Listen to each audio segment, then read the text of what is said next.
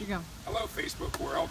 I'm out here at a new listing, 605 Cape McKenzie, and I'm here with my partner, Robin Casey, who proudly sent two of her children to Auburn. How about a War Eagle? War Eagle. But I wanted to reveal to Robin and to the world that we're selling a celebrity's house.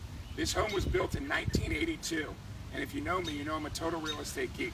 So I did the history on this property, and in 1982, the first owner of this home was a man named Nicholas Saban. No way. Are you kidding me? Oh my God. Nick Saban is now the coach of University of Alabama Crimson Tide, Roll Tide. but in 1982, in 1982, he was the defensive back coach at Naval Academy. He was only there for one year and then moved on in his career. So we are finally selling a celebrity's house, and I thought this would be a neat story to share with the whole world. Talk to you soon. Oh Thanks so much. Have a great day. Bye bye.